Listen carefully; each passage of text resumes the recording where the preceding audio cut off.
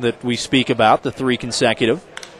William Bergolla swings away and sends a drive hit to deep left field, and Bergolla, on the first pitch that he sees, has hit a home run to left center field.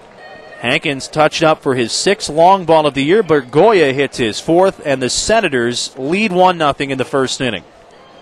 There they go, 3 2 to LaRue, ball four low, and that walks in a run. The curve are on the board. 3 1 the score as Chris Duffy trots home. 5 6 3 will be the out that is recorded. Now Seth Bynum swings away at the first pitch he sees and drives a ball deep and out of here to left field. Seth Bynum pounces on an offering from the right hander and hits it to the bleachers to give the Senators a 4 1 lead.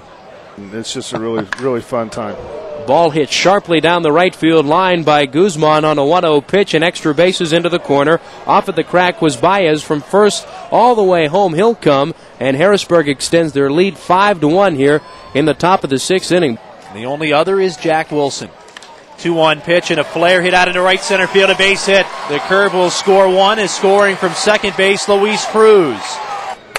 5 2 the score, the curve trail, the 1 0 pitch to Duffy. Fly ball tag, deep center field on the run. Daniel still going to the warning track. He makes the catch. This will produce a run, scoring from third Bowers.